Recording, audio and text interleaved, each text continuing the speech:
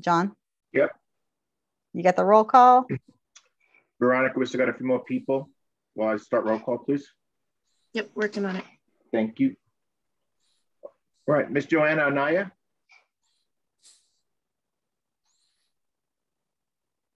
Madam Chair, Yes, sir. Johannes Camino. Bryn Davis,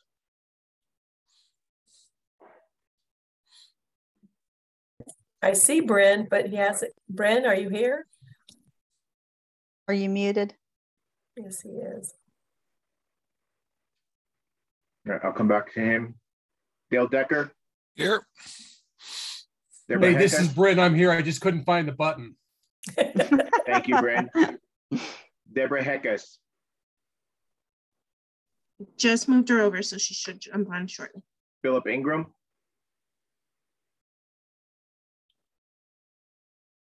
Mark Lee. Deborah Moore, Here. Joshua Orozco, Here. John Rockwell, I see him. John John, are you muted?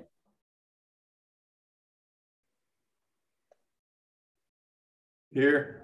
thank you. Nancy Sauer, Nan Yeah. is not going to be able to join us till later, but she does think she'll be here later. Matt Mathis Sinick. Oh, hmm. Vince Alvarado. Miss Kelly Orth, is that right? Is that correct? Yes, present. Thank you. Director Rodriguez, Here. Deputy Secretary Clark, I'm here. Bobby Eric, Here, sir. thank you. Carla Kugler, here. Samuel Colapo. Representative Montoya, Here, thank you. Secretary Cerna, Here. Deputy Secretary Madrano, Present. Senator Hamblin, Here. Daniel Schlegel, Mayor Snover, Councilor Sorg, Ezra Spitzer, Director Trapp, Here. Director Perea. Give DJ another shot at it. Sure. Deborah Heckes, She's, she says she's here and we see Mhm. her. D- D- DJ, are you on mute? Uh-oh, she just left. No, she's still on, but it looks like she's not able to, to like voice her. Do we her have presence. quorum? we do not have have quorum. quorum. We do not have quorum. If we have, if we had her here, would we have quorum? No. She says she's here and she can hear me. Okay. Well, all right. So we haven't had this happen in a really long time, but uh, so how far away are we from quorum? Three off. We need Three, three. three to make business people? Three business people to, to come in. Carla. Can you hear says- me? Car, yes. Okay, De- Deborah Heck is here. Carla says he hasn't been called on. Carlos I was did. waiting. Yeah, it didn't sound like it was alphabetical. Yeah. Carlos Romero. Yeah, so here's who I have missing from business. I have Joanna Anaya, Philip Ingram, Mark Lee, Nancy Sauer, Matthew Sinick. Okay, so Nan believes she's going to be in the meeting later. Um, and so that would give us one. So if anybody knows any of those other people and wants to send them a text real quick, that would be fabulous. Um, the only agenda uh, item that we needed to vote on uh, this for this meeting is the approval of the minutes. So if we fail to achieve quorum, all we'll do is we'll just uh, vote to approve the minutes next time. Uh, for the sake of eliminating, um, you know, many, many, many roll calls, the way that we've also structured our meeting is to to say uh, I, I open the floor. Does anybody have any changes to the agenda that they would like to suggest? And if so, then we would have we would have a, a vote on that. Not having quorum, we can't do that. Um, but does anybody have any changes to the agenda just in you know case we can get to quorum and I'll come back to it. Okay, great. So, so we're just going to proceed with the agenda. So today really is a lot of um, a opportunity for us to hear um, from a, a, lot of voices about a lot of things that have gone on. Um, I'm going to start with uh, with the Good Job Grants overview, and um, Yolanda, just to be mindful of Troy's time, I I, I kind of let him know up front we would be really we would try to get him yeah. done sooner because he had a conflict. Um, but do you want to talk about the Good Jobs Grant? Sure. And it'll be really quick because I just wanted to let the State Workforce Board know that we did have five grantees that submitted applications. There were over 500 plus applications that went in nationally. Uh, but New Mexico had five, which was not bad at all for a very small state. Um, California and Texas, they all ended up like submitting like 30 plus grants. Uh, but smaller states like New Mexico were submitting one or two. Uh, we had five that went in total. Uh, the grants are there's one from Central New Mexico wait, Community College. Wait, what okay. is a good what is a good jobs oh, grant? Okay, so the Good Jobs Challenge um, was uh, funds that came down as part of the uh, infrastructure money or the money at the federal level around um, funding that was made available to states to actually um, speak to and work with specific spec, uh, sector work to develop and actually implement jobs and create jobs in that particular sector. So they had to not only come up with the strategy of how they were going to go up, but they also had to guarantee that there were going to be good jobs. And good jobs are jobs that would lead to sustainability and self sufficiency. So things that would lead to um, really strong wages and really meet the demands of what's going on in the region or in that community around um, a specific sector. Um, so the grantees in New Mexico, one is with CNM Community College. Um, I didn't get a word back from them. I was trying to get uh, an idea from them and how much they had applied for. It's called a high skills technician. Um, and the workforce for New Mexico's future is what they're calling it. So they're going to be working and continuing um, it sounds like work that's associated with their IT uh, challenge grant that they had. So they had an IT grant that is expiring, and I think this is a way for them to expand that. The second one is also, uh, it's not also, but is from uh, Doña Ana Community College. And also, I have not heard from these folks, but their grant is called Stimulating Advanced Manufacturing 4.0 Good Jobs and Career Pathways in Southern New Mexico. And this one is going to be with the DACC Borderlands Workforce Training Center and Innovation Hub. So they're going to be working predominantly around the, the increase of the manufacturing jobs that are coming out as a result of the way that that borderlands piece is um, is all changing in that in that area. The third one is with New Mexico Navajo Technical University. Um, this one was submitted by the Na Navajo Economic Development Collaborative. Um, I had attended um, a meeting with the Native American uh, Economic Development Summit that they had. And this one is really going to be around just um, the the application or the increase of jobs around uh, a Native American communities, uh, and this one is specifically just for Navajo uh, for Navajo Nation. So it'll be really interesting to see um, how that all plays out and if that's going to span that northwest area, but also into the the Four Corners area. So we'll have to get some more information on that one as well. I've not heard from the folks that applied for that. Uh, the fourth one is the Central New Mexico Economic Development District the nor- in northern New Mexico. And this one is called the Workforce Integration Network. It's a sectoral approach to training and careers in healthcare and the skilled trades. They did apply for 5.3 million, and this one has a pretty organized community piece that they're doing, um, a strong partnership with Los Alamos uh, National Labs, but also with Northern uh, University. Uh, this one has, they did a lot of work in terms of organizing the communities and the partners around that. I've attended several of their meetings. And so it's going to be really interesting to see how that one all plays out. Um, I do have a really good summary of their of their application, and we will be part of their um, of their ongoing advisory committee if it's funded and when it's funded. Uh, they asked for 5.3 million. The fifth one is the Workforce Connection Center of Central New Mexico. It's called the Real Jobs Alliance of New Mexico. Oh gosh, and I forgot to pull up the, let me pull this up really quick. And they asked for 13.3 million. Uh, and this one is with a partnership. Let me pull it up here real quick.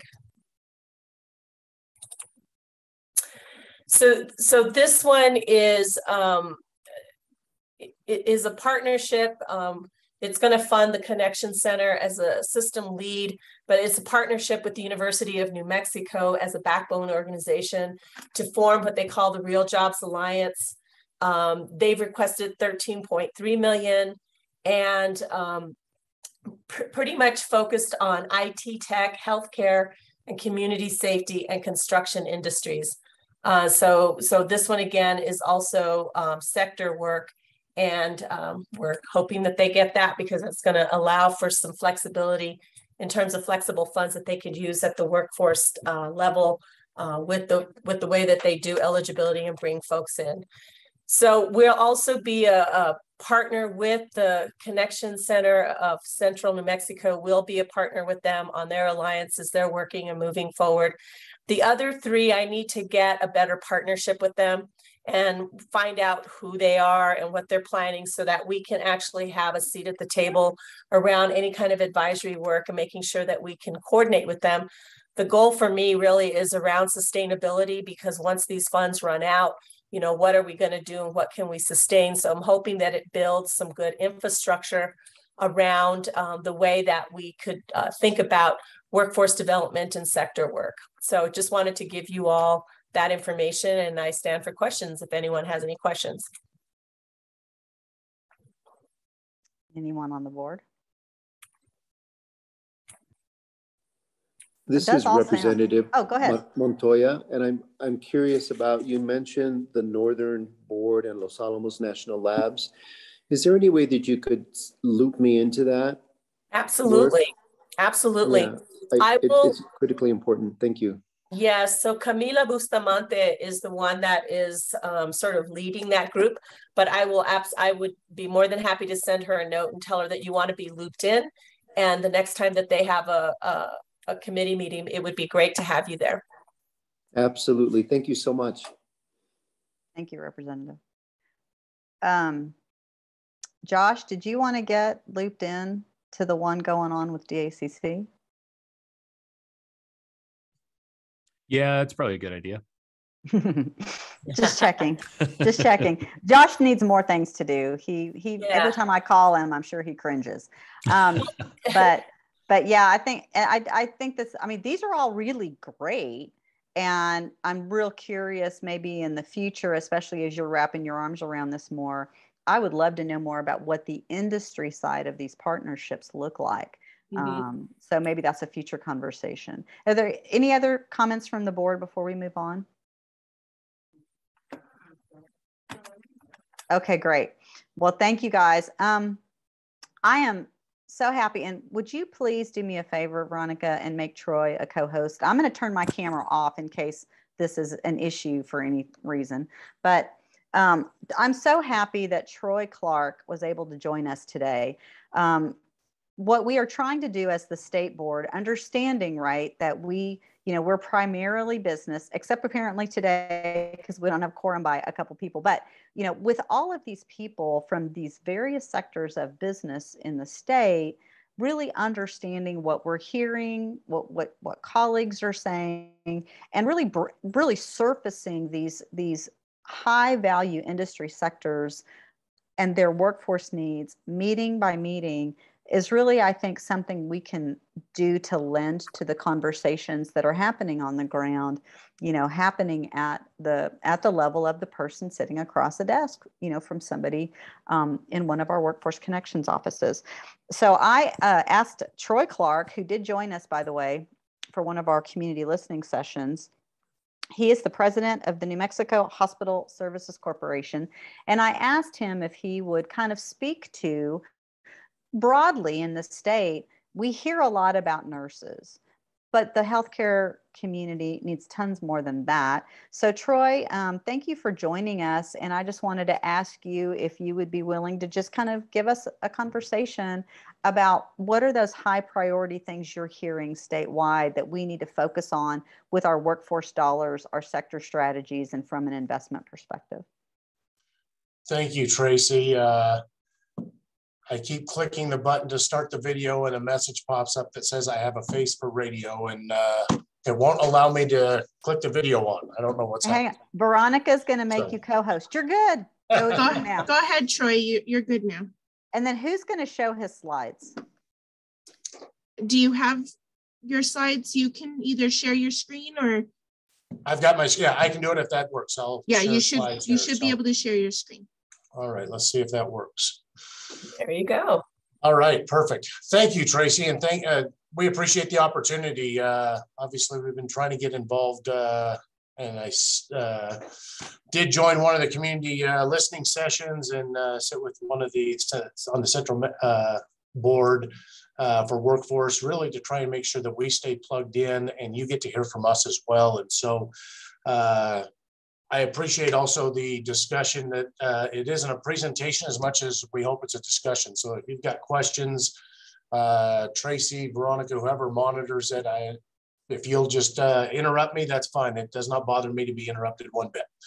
Um, but I am uh, Troy Clark from the uh, New Mexico Hospital Association, and I thought I'd do a little foundational work uh, at the beginning of the presentation here to make the rest of it really hopefully make more sense uh, to us. And so the New Mexico Hospital Association represents 47 hospitals across the state.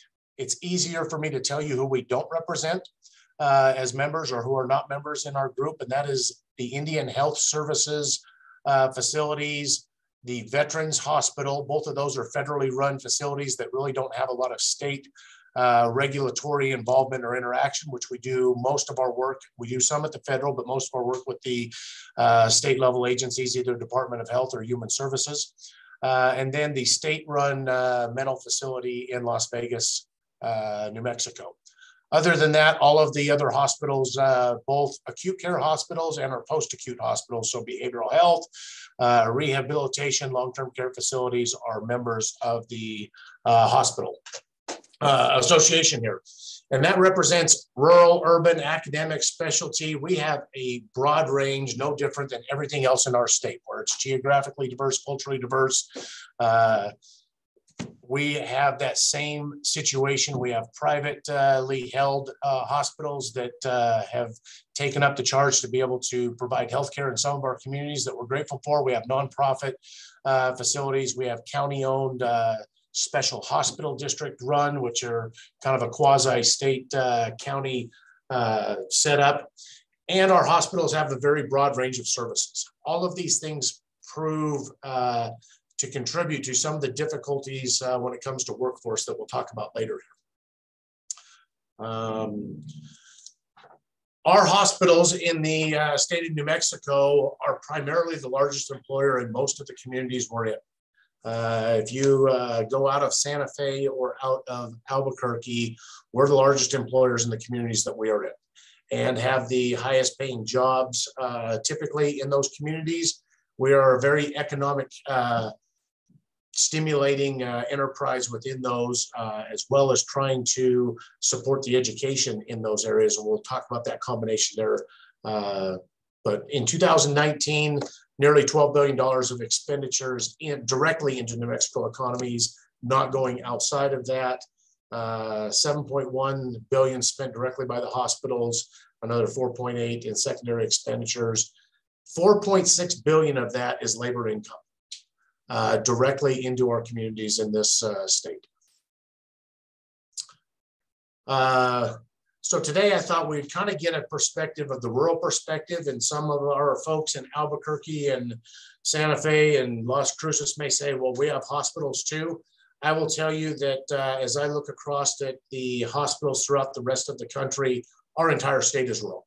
Uh, we have four communities that have more than one hospital. Uh, that's Las Cruces, that's Albuquerque, Santa Fe, and Roswell. Um, and outside of that, every other uh, community that we have a hospital in, they're the only hospital in that community. But there's still a lot of rural uh, related challenges as we look on a national level that have impacts into Santa Fe, Las Cruces, and Albuquerque.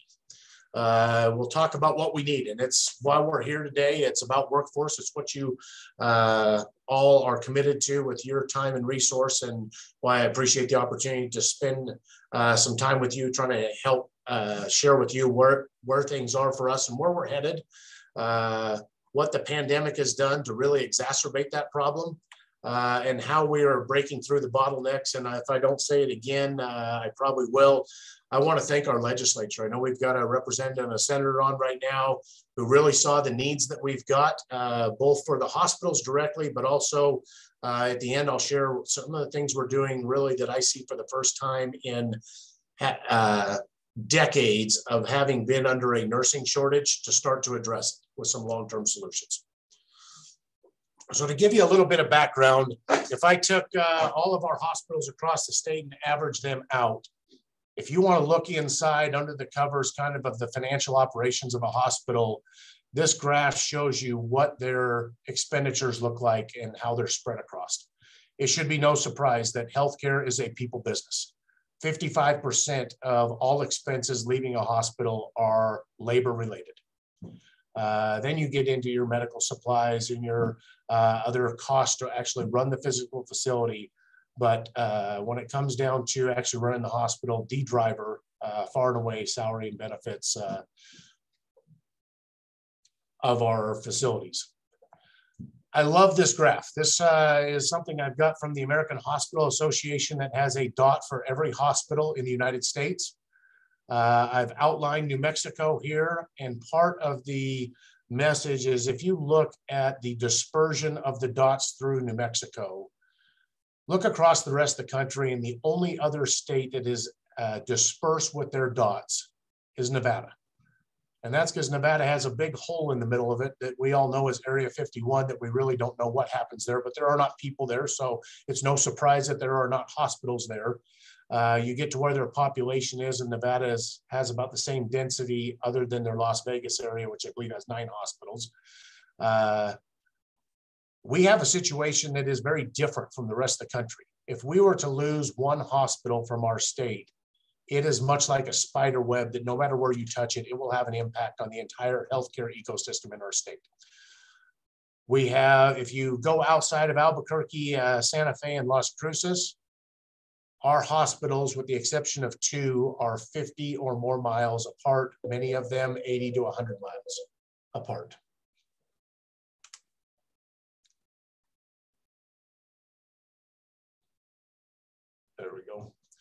So here's the state itself. So you can see from the communities you're in where uh, our hospitals are located and spread across. Uh, I mentioned two communities. You got Loveless or Lovington and Hobbs, where hospitals are 20 miles apart. You got Clovis and Portales uh, that are 20 miles apart. Uh, and then you got Los Alamos and Espanola. Other than that, if you were to take any one of those hospitals and due to financial uh, strain or other reasons close it down, not just the distance between the two hospitals, but the distance that uh, citizens already have to drive. If you're uh, out in some of these far reaches, Catron County, there's many people who've got a two and a half, three hour drive to get into Socorro already. Uh, you take away the Socorro Hospital, uh, not that that's happening, but you can see the distance and drive you would have to get to to get to other uh, facilities becomes very great and a real detriment to access for healthcare. So having said that, what are the biggest challenges we've got? And this affects uh, Albuquerque and Santa Fe just as well. Recruitment and retention both. Typically in most states, you're gonna go out and recruit on a national level. Uh, to get people to come to New Mexico, especially when it's providers, you have got to find the individual who wants to be a big fish in a small pond. Uh, the individuals who seek for the big pond, the big uh, city amenities, the New Yorks, the Chicago's, access to those, often look over uh, New Mexico. They uh, look over it because when it comes to being a provider, there's limited backup. It's one thing to come in, especially if you're a specialist or a, a physician who works in a hospital environment. You can't be on call 365 days a year. You need some personal time. Uh, and on top of personal time, being on call every night uh, that you're on when you're not out of town is also a huge strain on your family. And so, for most of our communities in this state, if you come in as a specialist, you are one of one or one of two of those specialists in that community. It takes a uh, very intriguing person who is willing to be that big fish in a small pond mentality to say, I'm willing to take that burden on and really be on 24 7. And I highlight that because it may seem little to each of us, but I have a number of physicians that I have talked to in our rural communities who choose to do their grocery shopping at five in the morning because it's the only time they can go to the grocery store that they don't get a tug on the arm or a tap on the shoulder that says, Hey, doc, glad to see you. I've got this issue. Can you please help me? And so they really are in a mentality where it's not just practicing within the walls of the hospital or just practicing within uh, their clinic. It's at the Little League games, it's at the school events, it's at the grocery store, it's at the gas station. It is constant. And that is the situation I will tell you in really every community outside of uh, Las Cruces, uh, Albuquerque, and Santa Fe you are a jack of all trades. We have uh, a unique thing here that I've not seen in my 25 year career in other states where we have uh, general surgeons who are also primary care physicians. We have primary care physicians who are also licensed as general surgeons. They have a practice where they deal with chronic care management in an outpatient environment, and then they'll go into the walls of the hospital and do surgery. That is not been seen in this country since the 1970s. But in our small rural communities, you have to become the jack of all trades or that capability is lost. And it's very difficult to recruit as those individuals who have those skills retire. None of our new physicians are trained that way. You are uh, boarded in your specialty and you practice within your specialty. And in fact, your fellowship, uh, your boarding within your fellowship restricts your ability to extend outside of that unless you go get a second uh, formal training and fellowship in those uh, practices. With nurses, uh, we see first year turnover of 30 plus percent. We have many of our nurses who take the time and effort to go through and get their nursing license and then come out and start to work in the field and become very overwhelmed. It's not what they thought it was.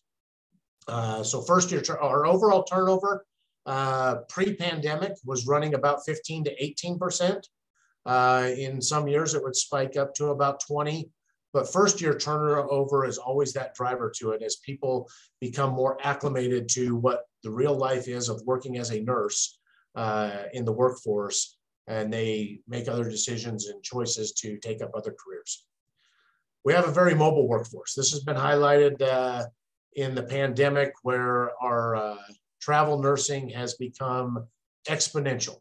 And I'll share with you that uh, Pre-pandemic, the majority of our hospitals would have less than 1% of their staff be traveler or nurse uh, agency nurses from the spring through the fall. It was only when you had an unexpected resignation or retirement, somebody moved out of town. Usually during the winter months, we would augment our staff to meet the increased uh, demands that take place in the winter months with respiratory illnesses. And you may have workforces at our larger hospitals that got up to five or 6% of their staff were agency or traveler nurses. During the pandemic, we had last August, 12% of our workforce across the entire state was traveler. By November, we were up to 15%. And some of our hospitals were as high as 60% of their staff, their nursing staff, or agency or not uh, permanently employed nurses just to fill the positions to meet the demand that we've got. Do you anticipate that that is going to continue to to be that high, or did we see an attrition and and we have several to fill, or there's like there's a shortage just overall, or was that just to meet the demand? Um, yes, yes, and yes. So uh, I do expect it to continue. Uh, I, we hope that it begins to decrease, but I don't think it's going to be a rapid decrease.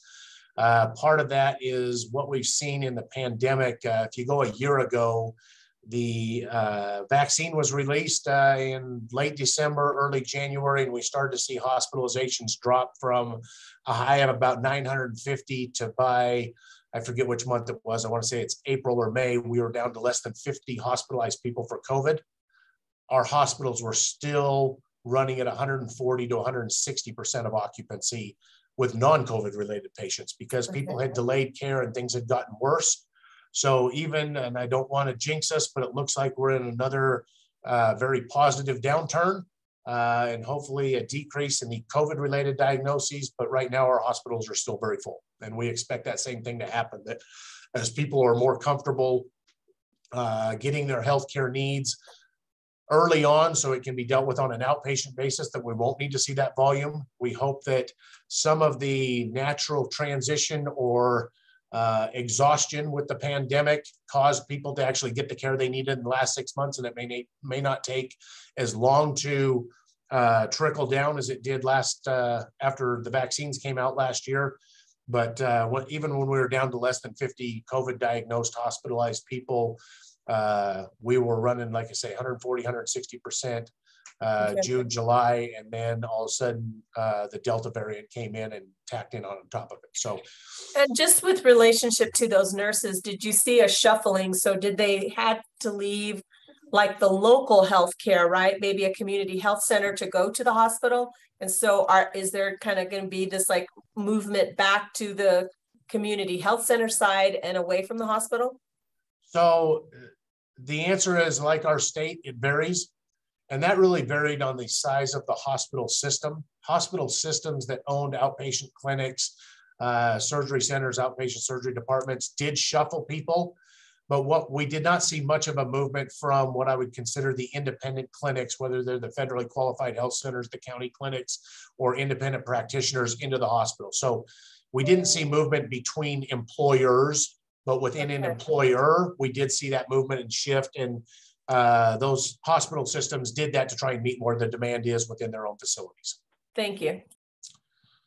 Uh, so the, for nursing also outside of the pandemic, there is a draw uh, to urban areas. It's difficult, more difficult in our rural areas to keep them there because oftentimes you get nurses who want to be specialized. I want to be an OB nurse. I want to be an oncology nurse. I want to be a, a surgical nurse. Whatever their specialized needs are, that many of those specialized uh, services are either not available at all in their community or so limited in numbers that they then move to the more urban areas in order to meet what their career ambitions are.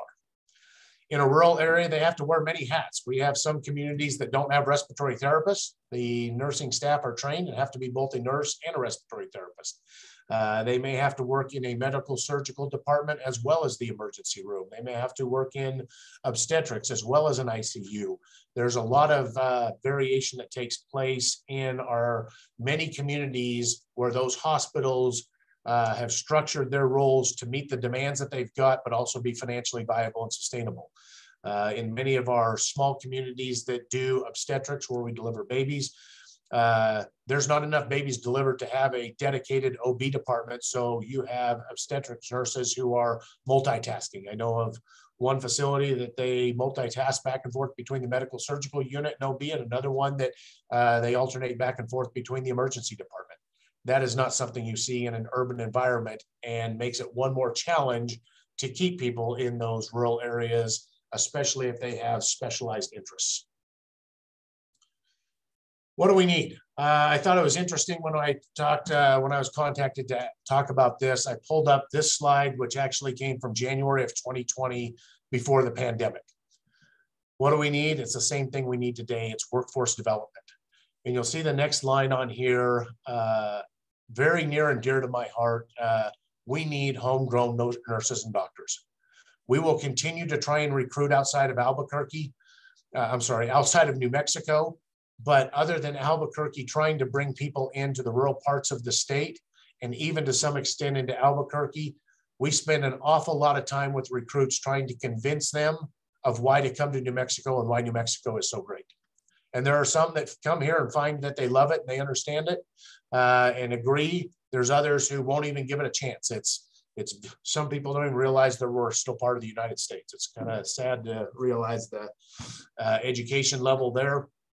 Uh, but overcoming the obstacles of education in our local communities is tough. Uh, finding incentives to recruit people outside are great at the federal level. We have some uh, federal loan repayment dollar programs, but unfortunately, and we even have some state ones. I want to make sure I cover both. But unfortunately, those require a three-year practice commitment. And the typical pattern is for these nurses and doctors is they get there for the first year, uh, figure out what their job's like. They spend their second year looking for where their next job is, and their third year winding down their practice and moving on to the next job. It is almost a guarantee that anyone we bring into the state on these federal loan repayment programs, the state loan repayment programs, will only stay for the length of what their committed time is. They don't get involved and integrated into their communities and stay. Um, we also look to help in the state, really what you're doing in increasing the number of jobs in the communities to reduce our dependence on Medicaid. Uh, we see that as the way out. Uh, while we believe that Medicaid uh, is not fully funded, if you look at what happens with the Medicaid program in our state, we our Medicaid payments cover about 85 to 90% of the cost, not what's billed, but the cost of providing that care. If we can find enough jobs and employment to reduce the number of enrollees on Medicaid and keep the funding dollars where they're at, we'll be able to get that up to where Medicaid covers the cost and improves our healthcare access. So we see that as the way out as opposed to trying to uh, constantly tax ourselves more to get more dollars to fund Medicaid for an ever increasing number. And what we saw during the pandemic, unfortunately, did the opposite of this, that our Medicaid percentage has now grown to where about 46% of our population is on Medicaid. Uh, and then we look for financial support to renovate and replace aging facilities. We're not going to talk a whole lot about this today, other than just for your awareness. Most of our rural communities, uh, their facilities were built in the uh, 60s and 70s under a federal program called the Hill-Burton Act. Uh, and they have enough uh, financial sustainability to meet the daily operations, but not to invest in uh, replacement facilities or infrastructure that they've been relying upon that was paid for decades ago. So what has our current crisis done? We kind of touched on this. Yolanda asked a question earlier. It's exacerbated or highlighted really the weaknesses that we've got. Uh, where we were used to as a uh, healthcare system adapting and using travelers, using overtime to make up for nursing shortages over the last decades during the winter months, when those demands became so great and became year round, we had no way to meet that demand. Um, it's created a financial impact on the hospitals. I talked about what an economic driver we are in many of the uh, facilities. Uh, this graph shows you that uh, over the entire pandemic, our net hospital losses have now exceeded 420 million. But there's really another story to this that drives into what we're talking about. And that is there's really a tale of two stories to the pandemic. Uh, in this first graph or first bar on the graph, you see the pandemic related losses that uh, staffing makes up about 400 million of the loss. You've got supplies that make up a little more than 100 million. And then you have lost revenue that makes up a great uh, amount as well. Uh, it's about 400 million as well. That pandemic lo related loss of revenue really all occurred in the first part of the pandemic. And I'm going to come back to that because I want to catch one more here uh, slide here. In the media, uh, what's been shared out there is the federal monies that have been uh, dispersed throughout the uh, nation to hospitals that are out there. And the numbers seem very big to people, and they are very big. We received about $374 million into the state from the federal government directly to hospitals to help. And in your daily life, you think 374 million, most of the people I talk to go, hospitals should be just fine. That's a ton of money until you see the total of all the expenses that go out the door. It helped fill about half of the hole that was created to our state. But going back to where I was headed with the tale of two different periods of time in this uh, epidemic, really the first year of the epidemic through January of a year ago, the majority of the losses, as you see in this graph, were due to lost revenues. our hospitals had to shrink back down, reduce services that they couldn't provide as we had to adapt our facilities to try and meet this new pandemic that we were not used to. We had to spend money on ventilators uh, and other equipment to take care of COVID related cases and also to protect all of our other patients uh, who didn't have COVID and our staff from contracting COVID and making certain that our hospitals were one of the safest places to be in spite of the fact that we had COVID positive people within there. Notice in this graph, the 23%, 146 million in the first period of time was related to, uh, in a one-year period of time was related to staffing. As I change the graph to show you the second half of this pandemic or the second story, we don't see any lost revenue anymore. I just told you that uh, in Yolanda's question about our volumes, our hospitals have been bursting at the seams we don't have lost revenue. We actually have about $92 million more revenue than we've had before. And on the bar graph, that was the other great uh, portion above the federal funding was this additional 92 million in revenue. However, just in the last six months, our hospitals have incurred $247 million of premium pay over and above what they would normally pay for the staffing to keep their hospitals open and staffed to meet the demands. It really is two different uh, worlds and phases of this pandemic. And it's put us in a position that has highlighted and exacerbated this uh, worker shortage that we have. This is all healthcare workers. And while often it's talked about uh, nurses and the nursing shortage, we've had a nursing shortage for decades. We've had a provider shortage, physicians and nurse practitioners in this state. Now, as a result of the pandemic, there is not a healthcare position uh, that we're not short on. That includes ultrasonographers, uh, radiation therapists, it includes respiratory therapists, includes uh, your housekeepers, your dietary, your maintenance. There's not a position in a hospital that we are not short on and having to outsource in facilities across the state to uh, agency or temporary help. So what's that done? We're in a position right now where nurses are nearly impossible to find and keep uh, both within our state and nationwide. Nurses have left the uh, uh, industry. They've chosen other careers or chosen to retire earlier. 12% uh, I mentioned of our staff uh, positions are filled with travelers as of last uh, September. An additional 17% of our positions were vacant. So put those two together, that's, that's nearly a third of all positions are filled with either temporary or unfilled positions. Traveling nursing contracts, Pre-pandemic, we would spend 70 to $80 an hour to get a agency nurse in. A employed nurse runs about 30 to $40 an hour. A year ago, those nursing uh, rates had moved up to the 130 to $160 an hour. And we're competing for these nurses on a nationwide basis. So demands elsewhere drive this. We saw spikes when the hurricanes hit down in uh, the south uh, eastern part of our country, made it even worse we're now seeing 230 to 265 dollars an hour, depending on whether it's an ICU nurse or a med surg nurse.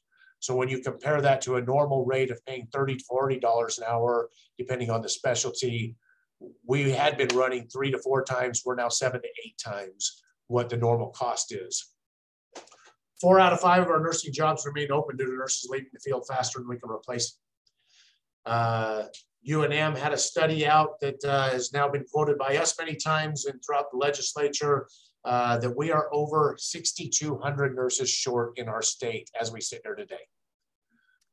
Troy, now, I want to I want to stop for just a second. All right. Um, so so this has been an before the pandemic. To your point, um, Secretary Serna was leading an effort specifically around nurses. My conversation all along has been eh, what you just said healthcare workers, regardless of level, we struggle with those shortages. My concern has always been that there's not a shortage of people willing to go into this profession. It's that the pipeline that produces the profession is completely clogged and can produce no more. So, like, are you guys in the conversation around how to expand the capacity of our training pipelines or no? Tracy, you, I teed you up beautifully and I didn't even do it. That's right where we're headed next. And it's, um, with this, let me finish this comment here. We're going to go right into that uh, of what. And I want to to be mindful of time. I'm so sorry, Troy. We, we Yep. still have some other things, but let's keep going. So currently, we educate less than fifteen hundred a year. Last year, we cert- graduated and certified twelve hundred nurses.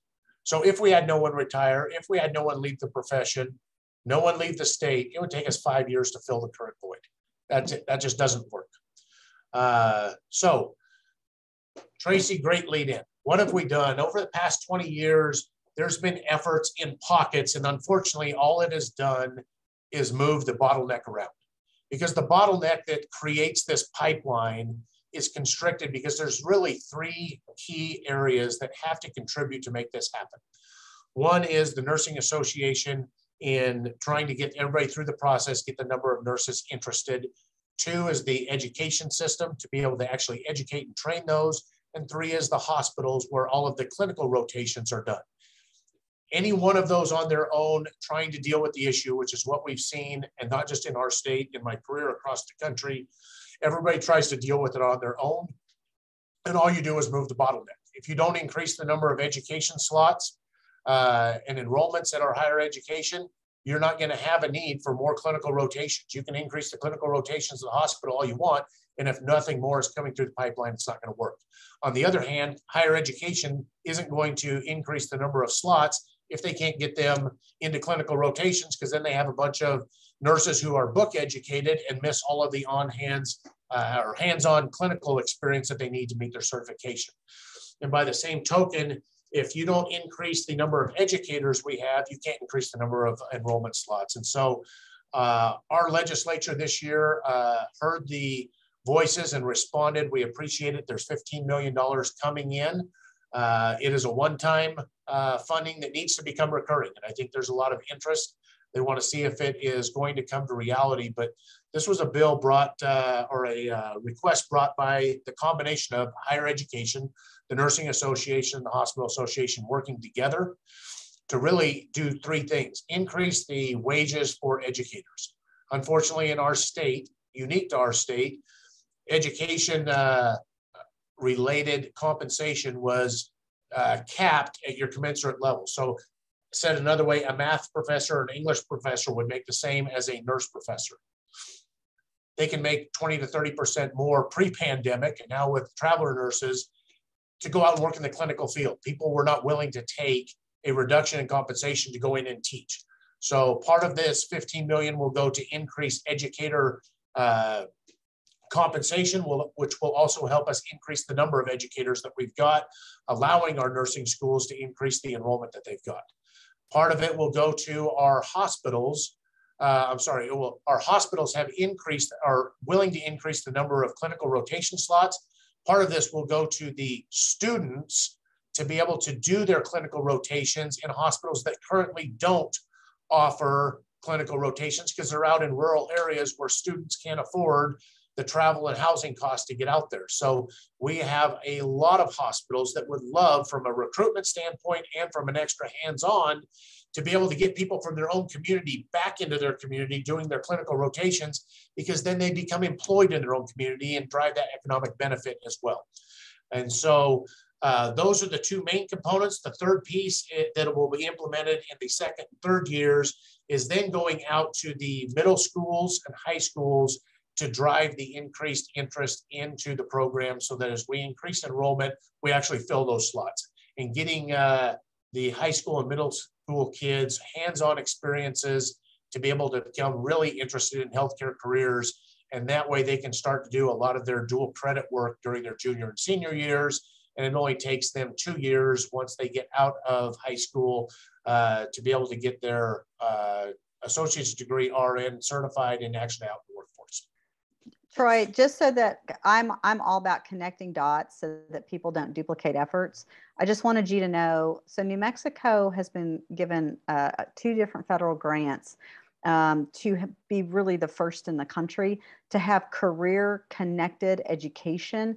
In uh, there's there's now a scripted curriculum from sixth grade to 12th grade that'll be rolled out in the fall semester that allows um, uh, students to have career exploration in the context of application in science, in social studies, in English language, uh, arts, and in math.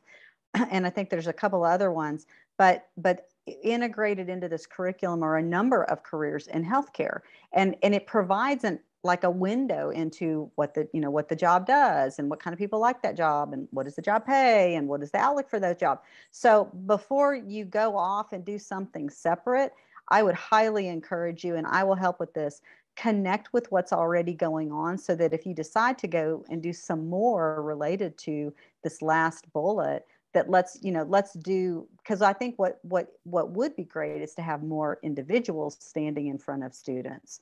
You know i think that's part of the solution but i but i, I just want to make sure you're aware of that. So i'm really being mindful of time. We're coming up on the top of the hour. Is there anything further you want to share with us before uh, questions? Dale decker has a question but is there anything further you want to share? That was the end of it. I will say that uh, we are aware of that, and that's what I would like to have had a conversation with Secretary Serna about this. Uh, and Tracy, I think I would highlight and say, because of the high level of visibility of nurses, this is focusing on nurses. Legislature passed this, but it really is. We need to expand this to all healthcare. We're currently working on a federal grant for respiratory therapy. I would love to work with uh, the workforce solutions area to try and expand this to all healthcare workers to do the same thing and not only present in front of students, but we have some pilot programs where the students get to come hands on and learn in this last bullet point that we talked about in integrating those two together. So let me okay. uh, let me I take will, some of the questions that are out there. Well, and I want to connect you with Elaine Perea so that you see who who's normally here, and I don't think she's here today, but I want to connect you with Elaine Perea so you have a sense of what's going on within the K-12 system. Dale, your hand went up first. Yes. Okay, sir. good. I was jumping the gun there. Great presentation, uh, Troy. Good to see you.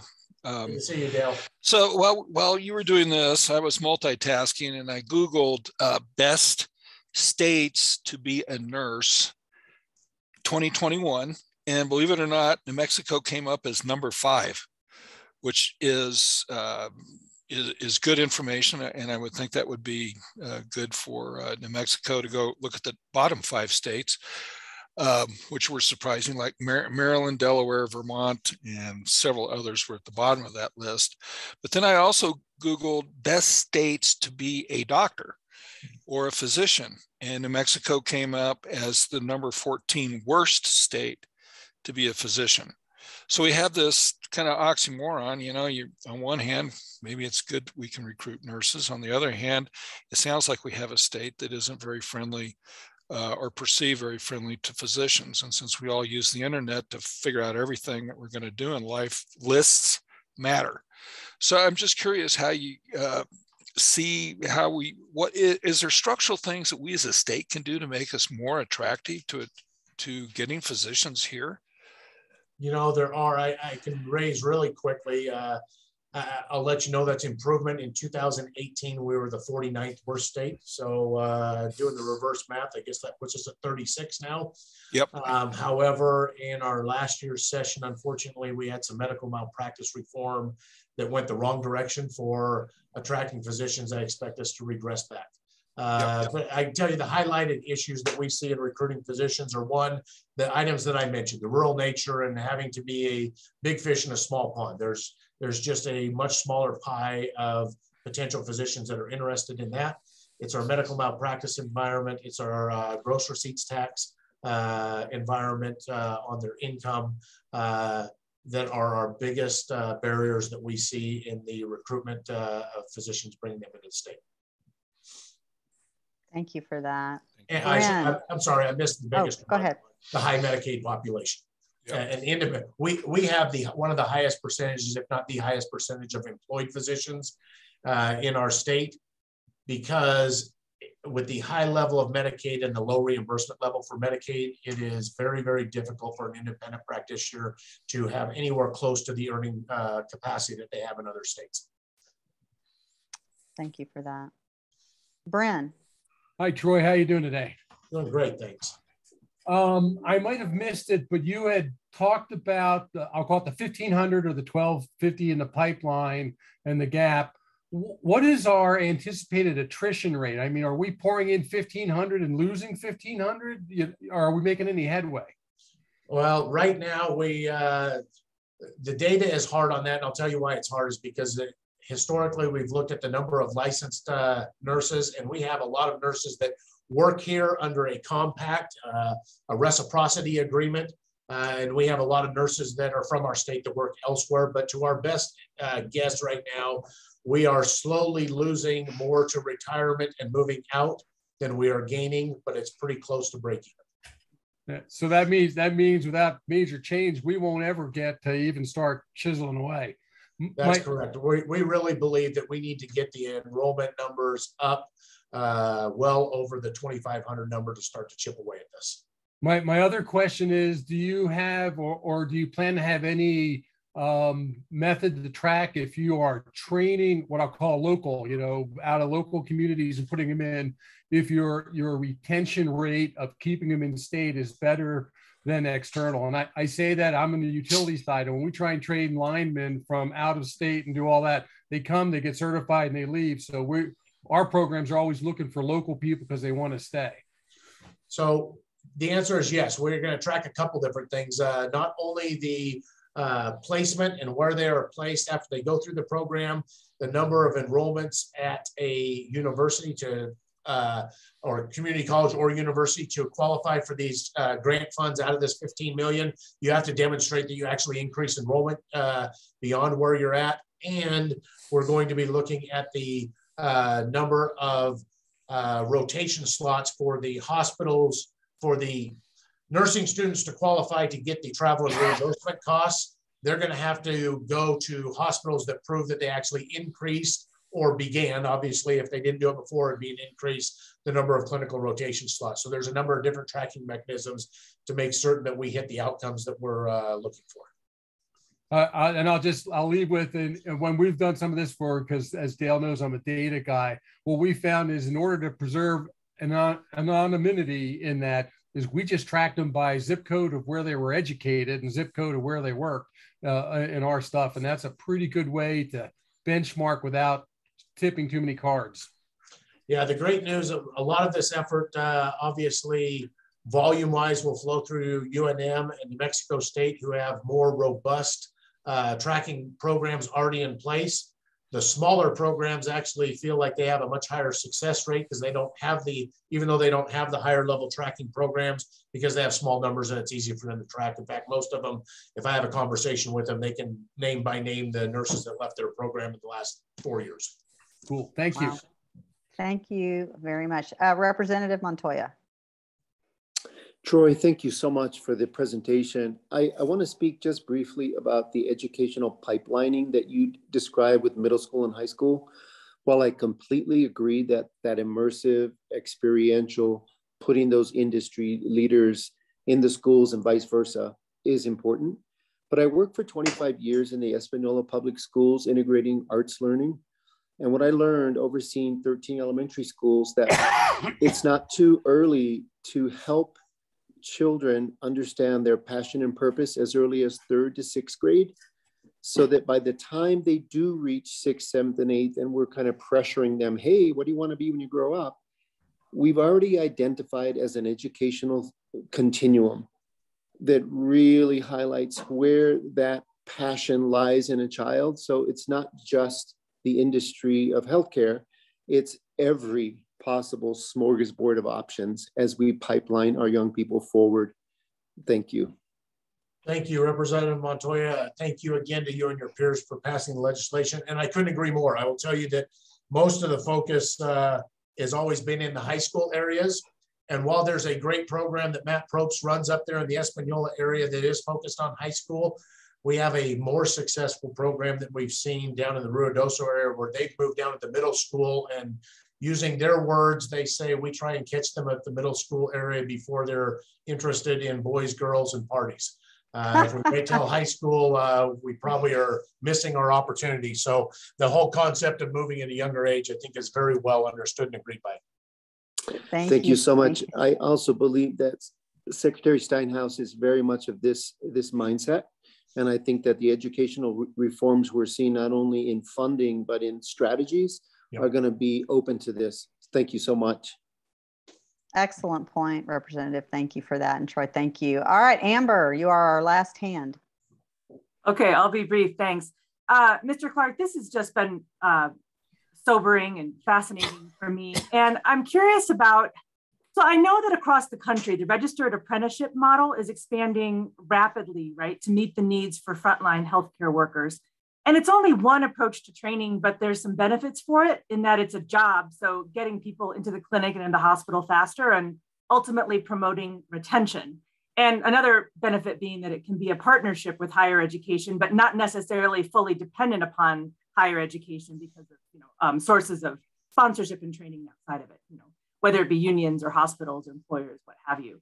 So, you know, another thing that appeals to me about it is that young people are right out of school, but it's can, can take advantage of it, but it's also a really good model for returning adult learners. So I'm just curious if you have any reflections on this as a beneficial approach in New Mexico and what's already being done. You know, it, I appreciate the question. Unfortunately, I have to say I don't know that we have made headway in identifying specifics of a program but we have identified that this is actually another area that historically has been a uh, great success, but trying to identify a program to put together to put for funding, we haven't figured that one out, but we're still working on it. And I'll share a, one of my favorite examples. Our chief nursing officer at our hospital in Santa Fe at Christus St. Vincent's started off as a dietary aide at St. Vincent's Hospital, moved her uh -huh. way uh-huh. up to a cook, was convinced to become a clinician, went to nursing school in her adult years, has worked her way up through management, is now the chief nursing officer. It, it's, it's a great recruitment, recruitment tool and a retention tool, but it's a great uh, outreach to our employees as well and helping them continue to develop. And we see often within our, the walls of our hospital, people who are in non-clinical jobs that uh, show interest in becoming clinicians. And that has to exist outside of the hospital as well, people who are in other jobs that have an interest in uh, clinicians. We just have not perfected that one yet, but it is on our radar screen. Thank you so much. Uh, I see that, uh, Greg, you have raised your hand as well. Do you have something you wanted to talk to Troy about? I do. Um, one of the really untapped resources that I think that we have in the state are military spouses, military families. And some states I know have um, enacted new laws that allow for uh, expedited occupational licenses or um, in some way to uh, allow military spouses to get a state license, including for nurses. Have we considered anything like that here in New Mexico? Uh, New Mexico actually uh, last year passed uh, one of those. It is a great help having run the hospital uh, for a period of time over in Clovis. There is high dependence upon Cannon Air Force Base, and we love spouses.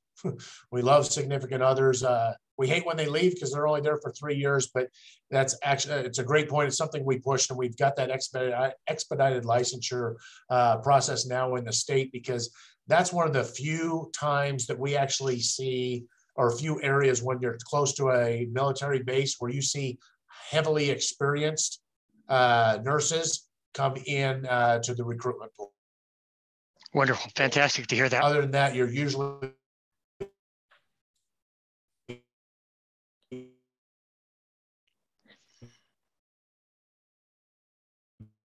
Is that Troy or is that me?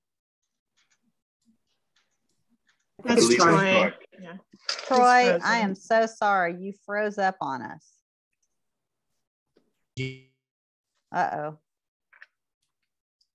Well, Troy, I I, I want to say if you can hear me, I, I think I think I'm not sure what's happened, and I think his signal got lost.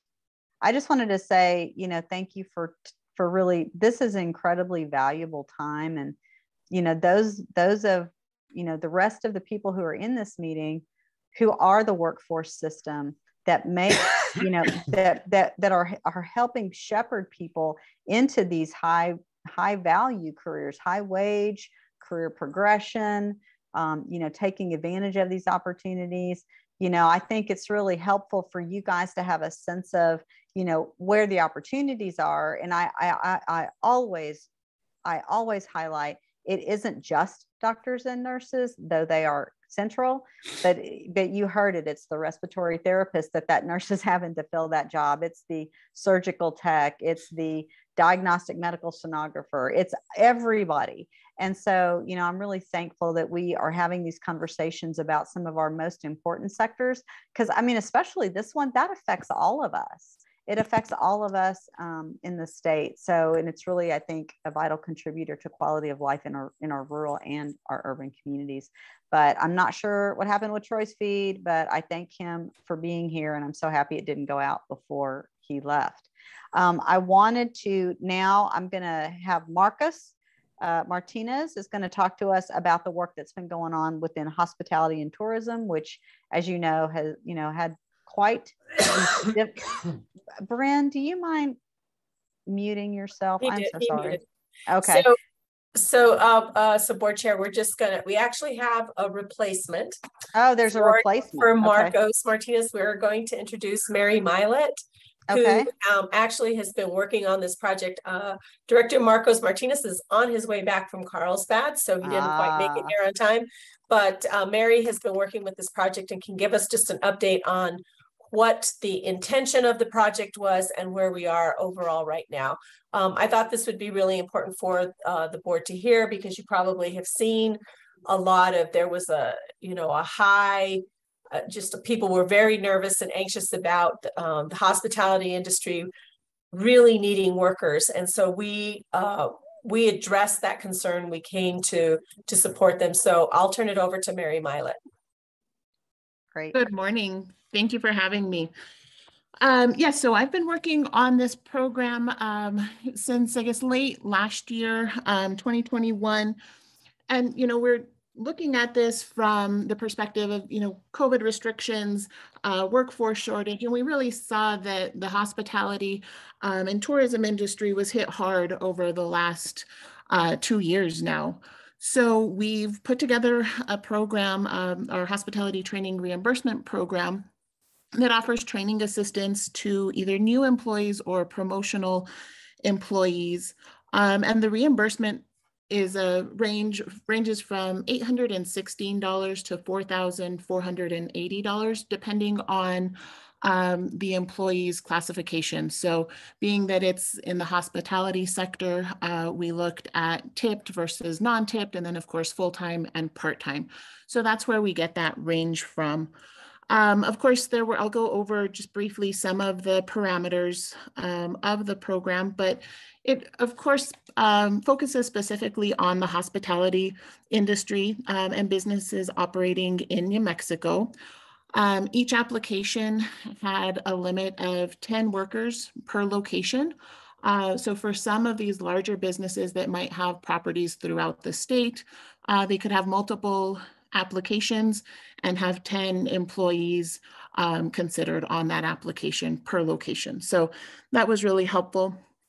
Um, and then each position had to pay at least uh, $12.50 per hour. Um, and then new employees could also be considered, but they would also have to uh, show an increase in pay. Um, and then for the food service industry, at least 25% of the new hires um, also had to be tipped employees.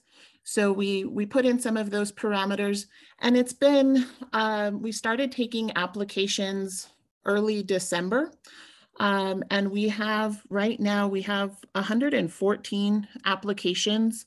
Um, that's a total of 681 positions that have been requested uh, for reimbursement. And we're just below $2.3 million of our overall budget of uh, $2.5 million. Um, I'm happy to announce that in the last about week, um, we have our initial applicants that had applied uh, back in December. They've been approved for payment. So it's about $515,000 um, in applications that have been approved and, and those reimbursements that are, are going out the door. So that's uh, something we're really proud of that we've been able to kind of mobilize and get this program off the ground and reimbursement uh, to these businesses that have been affected um, and you know some of the the stories that are coming out of the interactions that we're having with these businesses are great you know i had a conversation with a business owner down in silver city um, and they've taken it to this whole other level. They've promoted about four employees. Um, one person they've promoted to be kind of their reservation specialist. So they're learning a new program. Um, and it was a program that has always been available to them, but they really never took the time to train somebody to learn all the aspects of that program and how it can help them um, with reservations. And it came at a really good time because it was coming in to their slow season, so they could really focus on a lot of that training and then gear up for the summer, uh, for the spring and summer season when they're traditionally a little more um, busy. And then, of course, they have some servers that are learning about wine service, um, presentation, how to garnish plates. So they really took it to this whole other level, um, which is great. And they really credit the program with giving them, you know, that opportunity to kind of kickstart a really robust training program and some and they're also you know they're providing uh, certificates to their employees after they complete these programs um, and it's something that they're doing internally but they feel you know that's something that they the employee can take with them to other jobs as well and really you know be proud of their accomplishments and what they've learned. So it's been overall it's been a really great um, opportunity for businesses to take advantage of this reimbursement program. Um, it's gone um, it's been pretty steady since december when we opened up the applications um, IT has done a fantastic job of also building a program um, that lives within our unemployment insurance system, um, but they've built a fantastic program to handle applications and then of course take in the employee information that we're uh, gathering as well. But that's, uh, oh, I'm sorry. Yeah, no, that's kind say, of that's, that's awesome. Yeah, Yeah, that's awesome. And you know, I'm not. This is like not an official request from the chair or nothing like that. I just, I want to. I I would love to know some of those stories. I think we do a lot of great work sometimes, and we may talk about the great work that we're doing, but we don't often hear the individual story. You know, the person who this helped them do that, or the business that this helped them do that. You know, along the way, as that information, even if it's just the anecdotes you collect on calls, I think that would be really important for us to hear uh, along the way, if that's okay. It's just, I, I think that's, I think the personal side of those stories is not something we always get to hear. Definitely. So we're collecting a lot of um, information about the business. So, you know, what their employees, uh, how many employees they had pre-COVID and what they have now, um, if they are still operating at, you know, maybe a limited capacity. Yeah. So we're collecting some of that, but those those stories are, I think, really important too. Um, Yeah. I grow up, I grew up and I live in Taos, um, which is a you know, tourist destination. And over probably the last six months, you know, we've seen about four restaurants close. So we know, you know, that firsthand experience of how vital uh, this program can be to the hospitality and tourism industry. Yeah. And I think it's, um, you know, I think it's been really successful and I think it's helped um, start a lot of conversations. There's another business in Albuquerque that's now interested in looking at on the job training contracts with WIOA. So um, I think it's a good way for us to also market some of our other services um, and kind of bring them into the workforce system and see what, what else is available. But I think that direct um, reimbursement payment to the business is something that was vital for um, a lot of these companies that have really struggled. That's awesome. Well, um, I, uh, DJ, I think you were late to the meeting and I was saying, you know, if we can not put things in chat, but I see that you put something in the chat, but I'm going to read it to make it all okay. But uh, DJ, who's on the board, Mary, uh, was talking about uh, they applied as an events trade show industry um, and they do hospitality industry events, hotels, uh, uh, restaurants, and airlines. And they were able to use those funds to pay existing employees more and then train them for their personal growth. So, you know, there's a story right there. Reach out to DJ. Um, but anyway, I um, I apologize, you guys. I have to go. Um, I would like to turn the meeting over at this time to Carlos Romero, who is our vice chair. And you guys be gentle, be nice. He's he, this is his first go round, and uh, I know he's in great hands. But um, I just wanted to to thank you guys for the great work. You know, board, if you guys have questions uh, for Mary right now, um, you know, let Carlos know. And I just wanted to say thank you guys and have a good rest of your day. Carlos, uh, have fun. And by the way, y'all make him a make him a host so we can see him.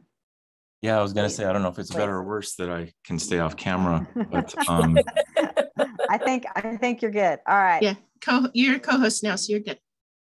All right. okay, here we go. Well, good All right. afternoon, everyone. So I think um, I just want to add just one last thing for the board members to understand on this piece with this particular conversation on hospitality and tourism. Um, this was a national issue across the country, and several states were trying to grapple with how to support this particular industry and what was, uh, you know, what was being done. I'm really proud of New Mexico because we stood up this program, and I'm going to let Secretary Serna say something about that because I know he has something to say about this. Go ahead, Ricky.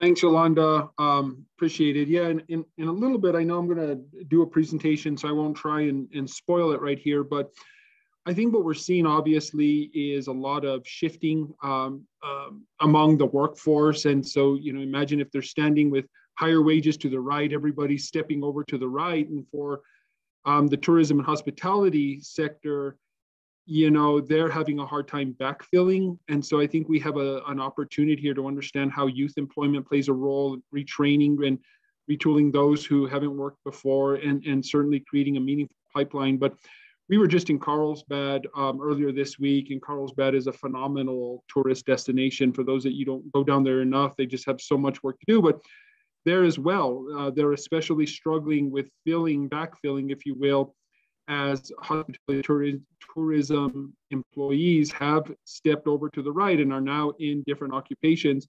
We, we are doing a lot by providing some relief to employees that need money to help train, but we really just need to find that pipeline and, and keep it flowing to them. And you froze just a little bit on there, Ricky, but um, to that point, we really responded to this particular industry because it was it was really getting hit hard. Uh, so out of this is going to also come a small evaluation around this. Um, so we will be sharing more as we move along on that in terms of what the outcomes were for these individuals and really tracking it. So Mary and her team have done a phenomenal job terms of tracking the types of industry that are coming in, the number of jobs, and the kind of uh, individuals that have actually been partaking in it. And we hope to have just a small report that will be included at the end of the year for us as part of our annual report. We did work really closely with our federal counterparts on this because we were one of the first states to kind of step in into supporting this industry. And we wanted to make sure that they were uh, aware of it. What makes it difficult for us is because of the wages, the low wages uh, that we're being paid, they're not considered sustainable. And generally, when we're working or we're making investments with our federal resources, we have to be really cognizant with this. But what we did is we used some set aside funds, they're called the governor set aside funds, uh, which gives us a whole lot more flexibility so that we could demonstrate uh, what this could do and how perhaps maybe the workforce system needs to work with our legislature a little bit differently too. So when we have to do or we want to do these kinds of specialized things, uh, you know, the importance of general fund and how that could also help us with some flexibility. So, so it really is going to give us an opportunity, some lessons learned on on all those ends. And I think we have one hand up, um, Carlos. Yep, I was just going to recognize Bobby Aragon and for a comment. Uh, I, I just had a question. I hope I didn't miss it. Like, I uh, is there going to be like an advertising campaign to go with the the, the promotion of of creating a pipeline from the young up that you guys are talking about It's rolling out later this year? So, so Mary, do you, I, I know, do you want to talk a little bit, Mary, about the the actual campaign we did with this particular piece? And then I think Ricky, you've got your hand up as well. So Yes, thank you. Uh, so we have met with, um, there has been a lot of marketing from uh, DWS and from tourism because uh, this was a, a, collaboration between both agencies um, to really help promote this specific program.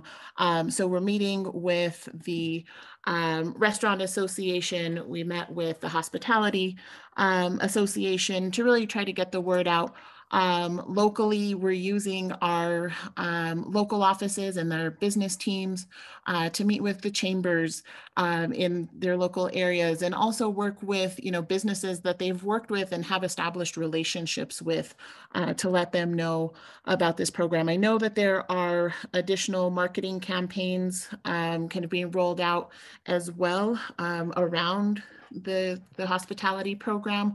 Um, and I don't know specific details about that, but especially uh, December and January, we really focused on trying to get the word out to businesses.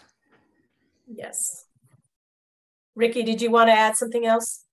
No, I was just going to fill that out. But we, uh, the other additional thing we did in partnership with um, tourism is we did launch a campaign um, on the heels of building a jobs board on the Ready NM website specifically for tourism and hospitality occupations.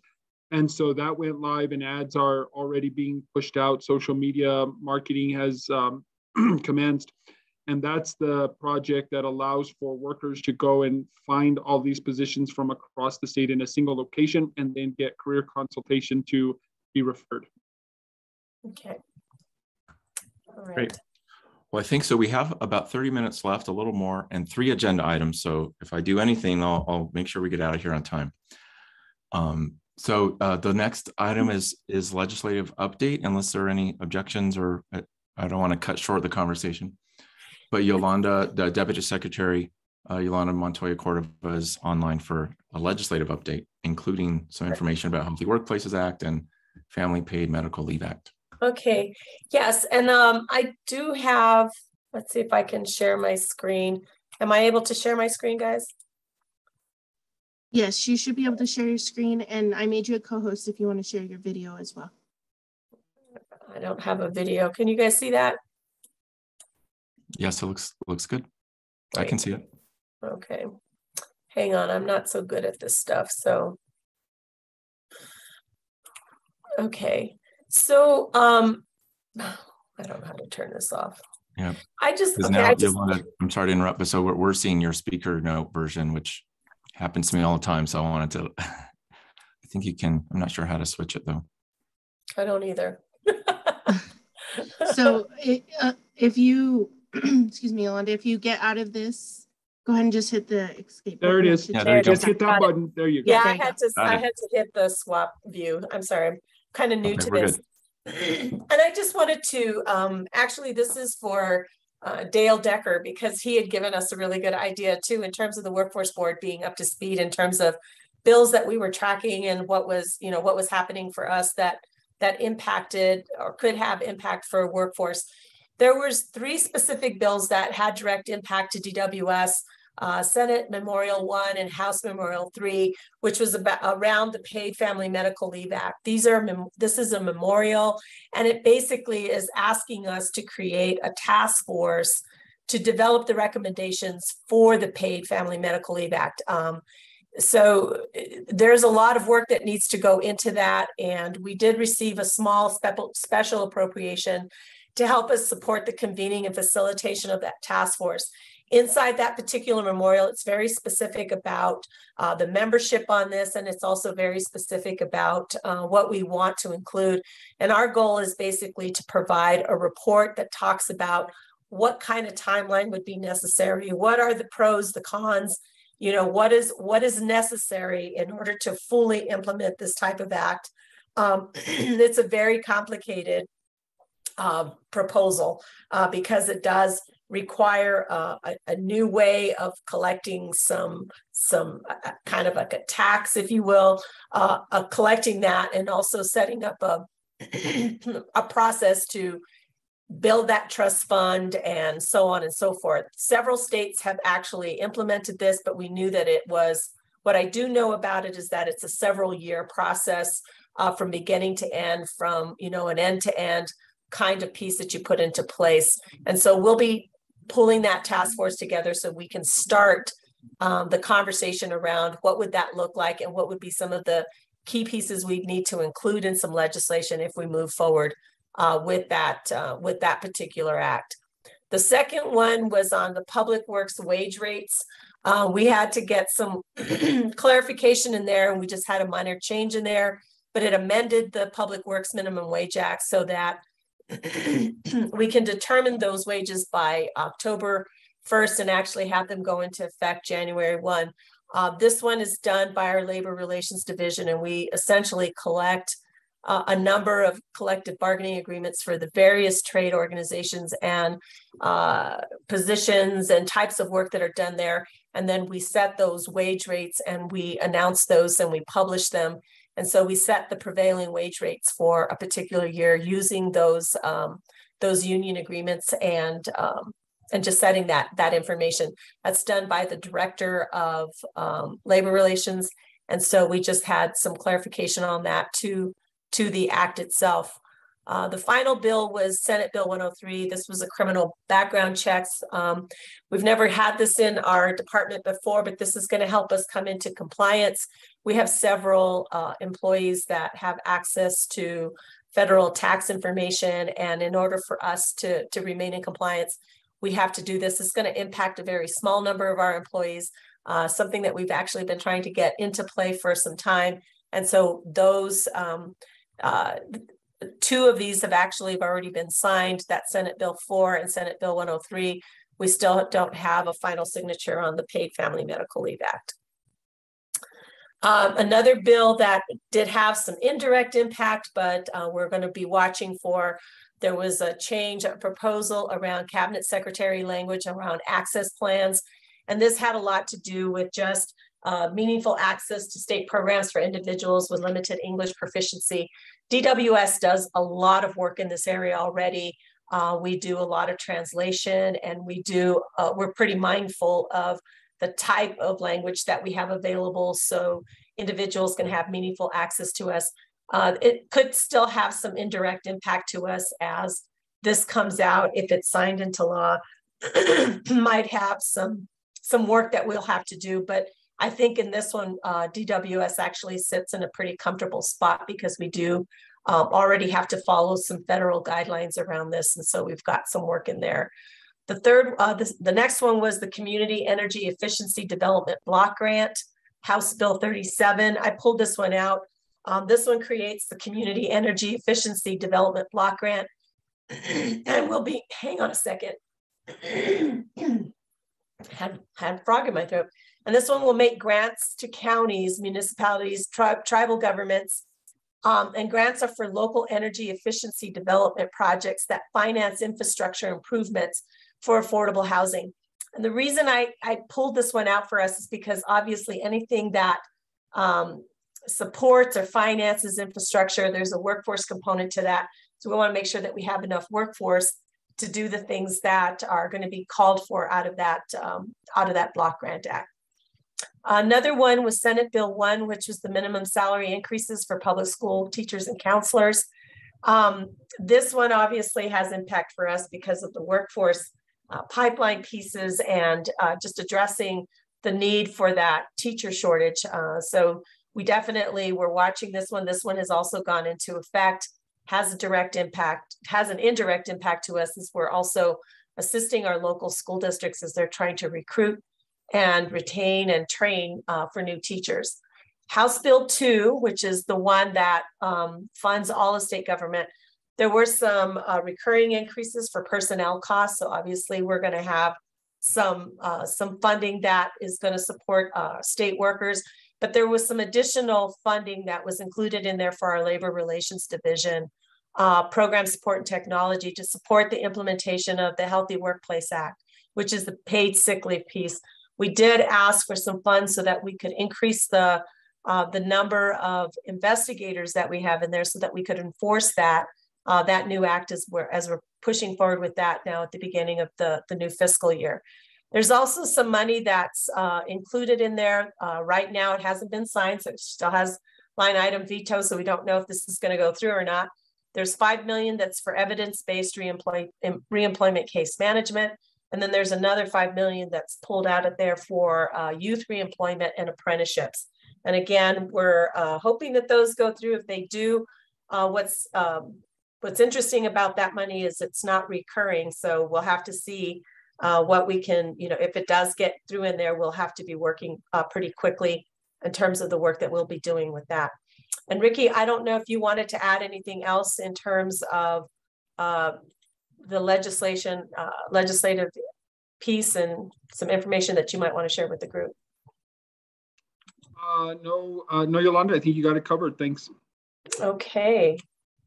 All right. So the only other thing that I was just going to say, and I sort of threw it in with that legislative update, was just the Healthy Workplaces Act. Uh, some pieces that we've got coming up right now is um, there's going to be a press release to announce a, a new uh, public hearing, which is scheduled for uh, April 5th. This is the second hearing that we're doing on this. We did have a first hearing. We received a lot of good comments.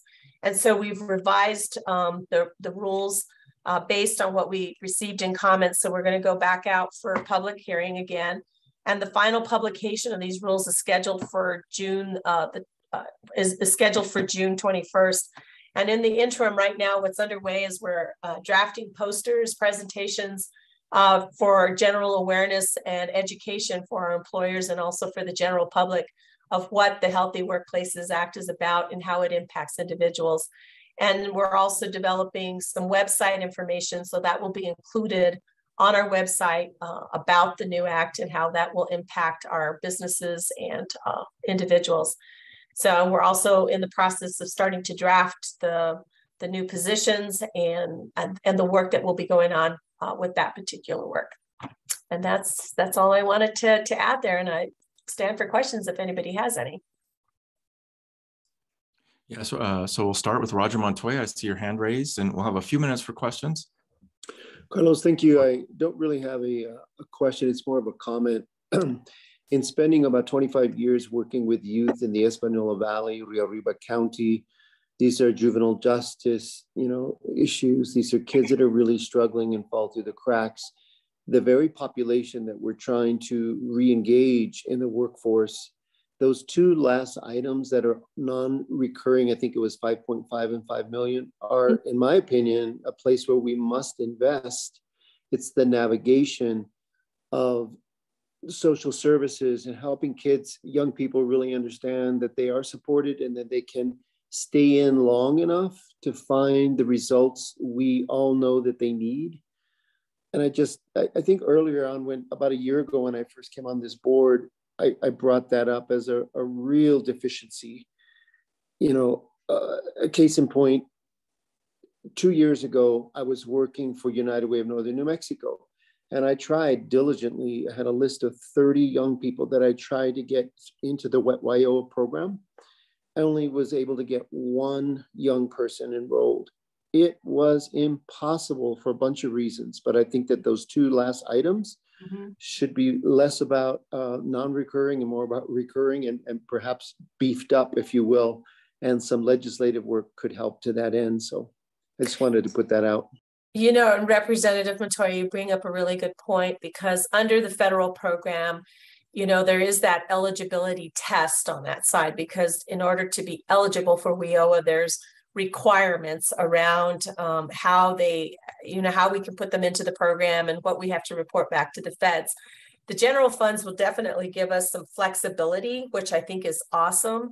Um, and so we definitely will be looking at how we could use that to leverage the federal funds that we do have that also support youth uh, youth employment but we also know what we receive on a federal level for youth employment is just not enough. I mean, it, it's the smallest amount that we receive on the federal side. So uh, really appreciate um, that, you know, appropriation. And uh, we're going to do our darndest to do the best that we can so that we can demonstrate, um, you know, what can be done if we make those dollars recurring. Exactly. Evidence matters. And mm-hmm. unfortunately, now I'm a policymaker. I'm not so much a hands on provider, but I know that nexus of opportunity where we can actually get young people to have the results is the best way to showcase. So I'll try to straddle the worlds and, and help as much as I possibly can. Thank you. Yes, and thanks for that extra the extra context um, there, Representative Montoya.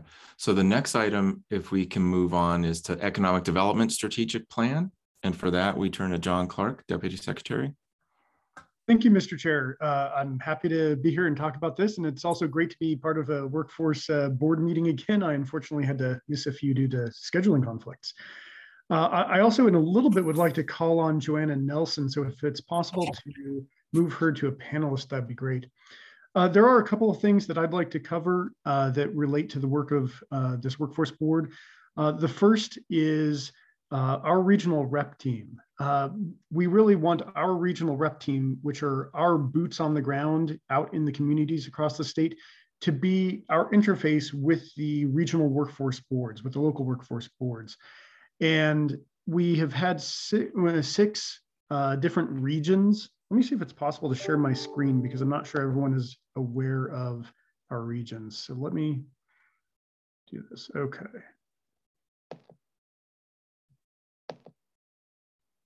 Okay, think you all can see my screen now. So um, I'm actually going to switch to this tab. So uh, this is on our website. Um, and this shows our six regions and you can hover over any of them and see who the contact is for that region. But uh, this is an issue we've faced for a while is that we have six regions they don't quite match up with the local workforce board regions, and they don't quite match up with the regions uh, covered by the seven councils of government or COGs. Um, the COG regions really are, are set up in, uh, in federal, by the federal government, and were set up decades ago. And I don't think that they really make the most ideal sense today in 2022 for how to split up the state in terms of regions. So I don't think we're probably going to make an attempt to try to align perfectly with the COG regions. Uh, we would love more discussions with Workforce Solutions about how to align uh, better with, um, with the local workforce boards. But we had asked for doubling our regional reps, and, and our thought was if we moved from six to 12, that we would keep these regions the same, but that we would have two reps for each region, perhaps having one rep concentrate on working with the local communities and then one working with the local businesses. We didn't get the six additional regional reps that we asked for, but we did get five. So we haven't decided yet exactly what that split is going to be. Uh, but as we move forward, we definitely want to continue uh, discussions with uh, Deputy Secretary Yolanda Cordova and others at Workforce Solutions for how we can make sure that our regional rep team is uh, talking and coordinating with the local workforce boards. Uh, also, um, this is something that really came out of uh, not just the session, but out of our work on our strategic plan, uh, just showing that there's really a lack of capacity in New Mexico in many respects. One of those was that our department needed more boots on the ground in communities. If I, yeah, I know we have a couple of new members. If anyone hasn't seen our strategic plan, I just want to point you really quickly to our website. Our website is edd.newmexico.gov. And right here on the main page, uh, you have quick access to a lot of things, including if you scroll down, um, to our uh, regional reps team uh, that I was just showing. If you scroll uh, to the bottom, oh, yep, there it is right there actually. Uh, but right here is our strategic plan. And if you look at that, you can either review our 20 page or so summary, or we have the entire 406 page document if you want to look at anything in detail. But one of the other things that came out of that strategic planning, and I can stop sharing now, uh, was that there was a lack of capacity around understanding the needs of industry. And the company that we hired to put together this plan recommended that we set up industry councils. And so that's our goal is over the next couple of years to start setting up industry councils, one for each of our nine target industries. And we're in a lot of discussions right now about exactly how we're going to do that. But we're going to rely heavily on the private sector to set these up because we want to make sure that this is something that lasts uh, permanently, that crosses administrations. And we want to make sure, first and foremost, that what we're getting out of this is recommendations from the private sector, not government guessing at what private sector needs are. So with one of these industry councils for each sector, the goal of this is going to be that they're going to conduct meetings throughout the year and figure out by the end of each year what it is that they need to make sure that they're successful, make sure that they can grow, make sure that we can attract more companies uh, in that industry sector, but also let us know what the workforce needs are. And they're going to prepare a report that they can submit to the state workforce board, the US at EDD, as well as to anyone else. For example, maybe tax and rev if they need uh, specific tax uh, code changes. Uh, but that's the goal with these industry councils. Uh, again, we, we are in the early stages of trying to set these up and we're not going to try to set up all nine at once. Uh, we're probably going to start with just a few, maybe three to set up those, uh, those up this year. And then depending on how that goes, move forward next year with setting up the remainder. Um, but with that, I'd like to turn it over to Joanna Nelson uh, just to add any updates that she might want to provide on our strategic plan and on um, Set Force and Seek, which are a couple of uh, councils that are advising us on the updating of that plan. Thanks, Deputy. Hi, my name is Joanna, and great to be here with you all. I am serving as the chair on the Sustainable Economy Task Force on behalf of the department. And through Senate Bill 112, which was established last year, that was the act that that set up the Sustainable Economy Task Force and the SEEK, what uh, the deputy mentioned, Sustainable Economy Advisory Council. These two groups are tasked with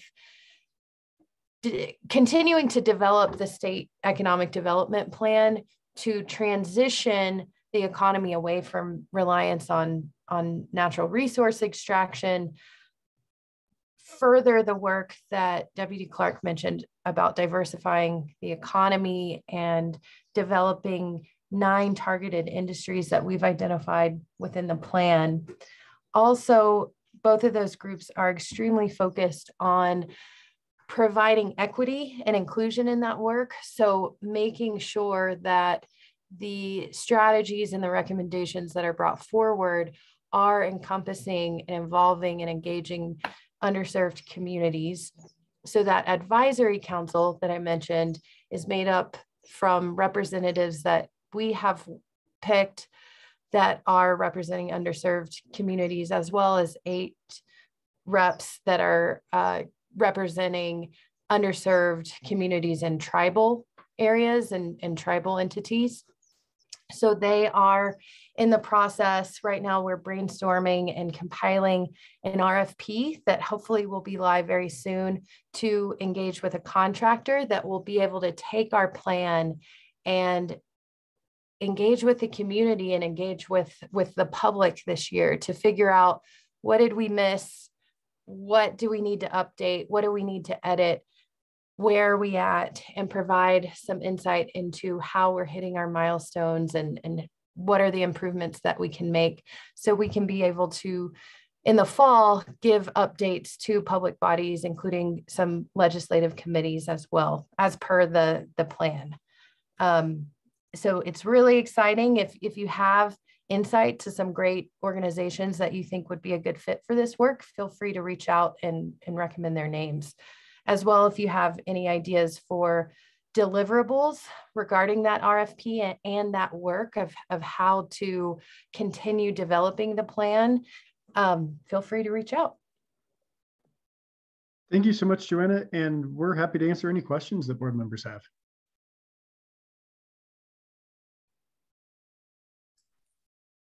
So we'll open it up for questions, comments, brief discussion.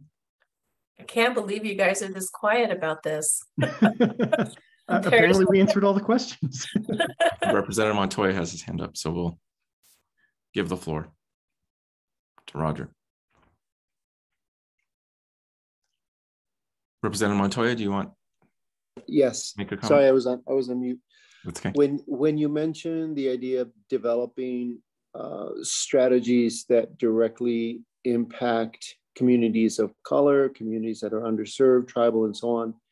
I would love to be able to understand who those organizations are that you have on the list and just under because I have a really in-depth um, reach, at least in San Miguel, Rio Arriba, Mora, Colfax County area directly, because I'm a community outreach person before I was elected in a very broad way just to understand who's on the list and, and how I might be able to support broadening it or deepening it or or shaping it in a meaningful way. That, that's great. Thank, thank you, Representative Montoya. And I'll ask uh, Joanna to uh, follow up by sending you uh, via email um, the uh, the list of members. For anyone who, who wants to see that list is on our website. We have uh, the list of members of both uh, the Set Force Committee as well as the SEEK Advisory Council. And um, about half of the members of SEEK are tribal representatives.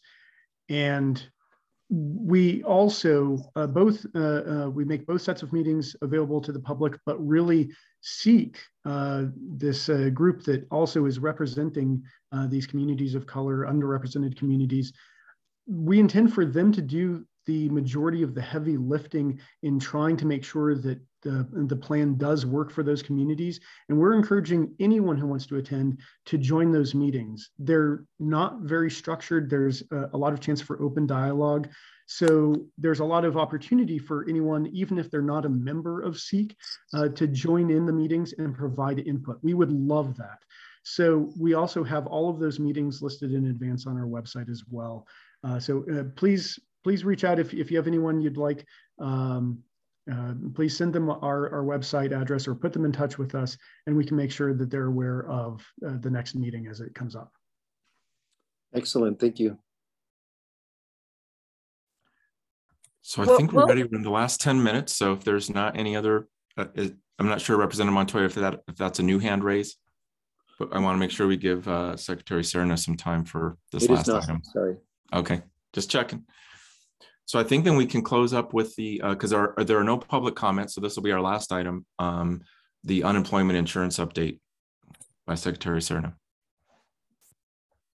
Thank you, Mr. Chair. I'm going to open up a PowerPoint presentation, and I've only got about uh, six slides.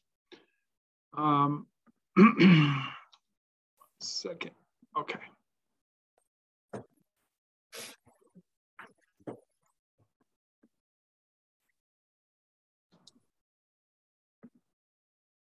All right. Do I need to do my switch around too? Yeah, you do. Yes, sir.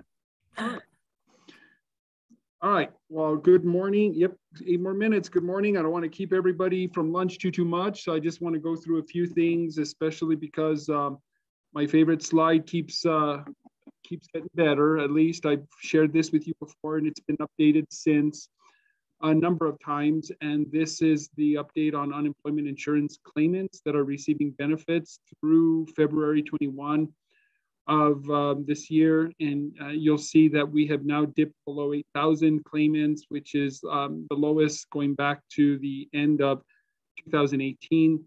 As you may have read, the last of the federal extension programs um, ended on the 19th, which was just uh, some additional weeks. We had about 2,500 claimants hanging on there. Um, so um, that's where we are.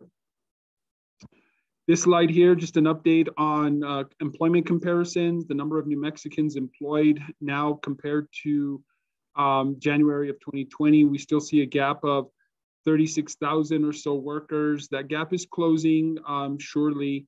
Um, and certainly, you know, we're, we're interested in that number, but more importantly, how it breaks down, um, how it breaks up by occupation and industry, which I will show you in just a bit.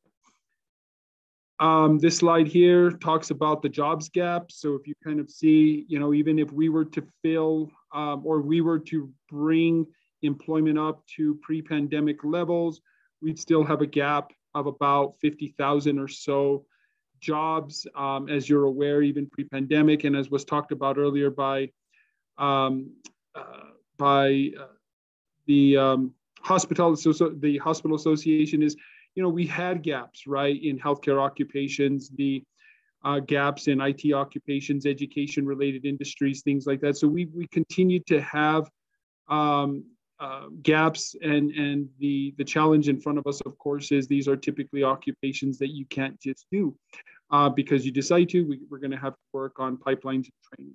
So, um, but like Troy said, you know, we're working on, on some strategies with those in, in healthcare. This here, of course, is that breakout. Where do we see the, the, the total loss of jobs? So we're here, we're comparing December to December. uh, of, uh, nine, of 19 and 21. And so you'll see that this table represents just total employed individuals in these industries. So at the very bottom again, uh, we're seeing trend in gaps, um, local government, employment, leisure, hospitality, healthcare, of course, continues to be a priority. And uh, then if you kind of go up towards the top, you'll see in construction and retail trade where they've either closed the gap or now employing more um, New Mexicans than they were back in 2019. The same in transportation, warehousing, and professional and business services. So this table here shows you the industries that are uh, are catching up to where we were a couple years ago, and those that uh, surely still see gaps. And, and what we've been doing as we visit communities across the state is ask, you know, a few questions, primarily, um, you know, are you posting these jobs and, and not getting good applicants? Um, are you reducing the number of jobs you're going to have moving forward indefinitely? Or are you kind of in a valley right now where you're not sure if you're going to have the capacity to fill them, but you may in the future? And that's that's part of the outreach that we've been doing to employers because then we can surge around getting those positions filled in partnership with um, the employers. Um, one question that's come up very often, obviously, is the the uh, the movement of workers uh, within industries and outside of their pre-pandemic industry. This table here looks a little tricky, but um, what you'll do is find those um, those uh, sectors with the longest blue line show stability. So starting at the very top, you'll see utilities, right, of 83.4% of those workers. When you compare the quarter uh, in quarter one of 2020 with um, quarter two in 2021, there's very little movement from those workers outside of that sector. So if you come down below the first half of the graph, admin and support, for example, you're seeing a lot of mobility and the orange line shows the movement and the gray line shows uh, perhaps these people aren't working at all right now. So arts and entertainment, accommodation, food service, um, and retail, uh, real estate, and even retail trade are the sectors where uh, we're, we're working with employers, obviously, to create pipelines, backfill where their workers um, have now pivoted to other sectors in the workforce, uh, likely to earn uh, a higher wage. So um, that uh, outreach that I was talking about has really been in, in partnership with the tourism department, ECECD, higher ed, human services department, because we see just clear overlap in, in the resources that we're providing. Uh, so over the past couple of months, we've done outreach events with employers in Roswell, Alamogordo, Las Cruces. We were in Carlsbad earlier this week. Uh, the governor's office is, is, is on the same path. In fact, we'll be in Penasco up north in a couple of weeks to talk there with community leaders about how you know our agencies come together to really address their economic reopening or their economic development needs, employment and workforce needs. And it, has been eye-opening. We've identified some childcare deserts. We've identified a space, you know, spaces where we need to come in with state resources, and then we've identified communities where we really just need to facilitate collaboration because they have the resources. But we'll continue to conduct this outreach. Um, hopefully, we can be out in the northwest part of the state sometime very soon. And again, what this is all about um, is, you know, we have information and data, obviously, but we don't know how that translates to day-to-day hardships for employers. And then we typically follow these um, these outreach events with uh, hiring events. So, for example, uh, yesterday in Carlsbad, we we uh, we conducted a hiring event locally so that um, we can try and fill some of those vacant positions. I just did want to provide an update on how um, we've uh, we've started to work on pandemic-driven recession triage and and how we're using what we now understand about the surge in UI claimants to be better moving forward one of the big projects we're working on, and in fact, we're going to be working on a grant that's due at the end of this month, is going to be aimed at combining our employment services staff with our unemployment insurance functions. And we're contemplating the idea of those staff being one and the same so that our offices are providing unemployment insurance assistance as a service, but the, the ultimate goal is reemployment services. So we're looking at that project. Um, ongoing cross training of our workers, not only at DWS, but with outside agencies, is going to be key, and that's going to be a priority for us. And one of our downfalls, uh, admittedly, was uh, not being strong enough in, in USDOL guidance and program administration. So we're actually creating staff positions within the agency that help us identify when um, system requirements are necessary and policy requirements and how they actually work in ha hand in hand so that when we roll out a program, the system functions correctly and we're adjudicating um, in accordance with policy. And then of course, our, our data-driven workload management is key, everything from how we understand how well we manage call flow to um, how we staff and how we, uh, how we essentially um, address items that come after uh, claims are filed. And then of course, strategic workflow management helps us clean up. We, uh, we, we surely are serving far, far less claimants than we have in many years, but we still have a lot of work to do from appeals to overpayment waivers, outstanding adjudication items, help start tickets, you name it. So strategic workflow management is helping us best use the resources that we have at the agency. So these are just high level, uh, if you want to call them lessons learned and projects ongoing that are helping the agency right now um, get prepared for something similar in the future, but also address a lot of the remaining workload that came from the last couple of years.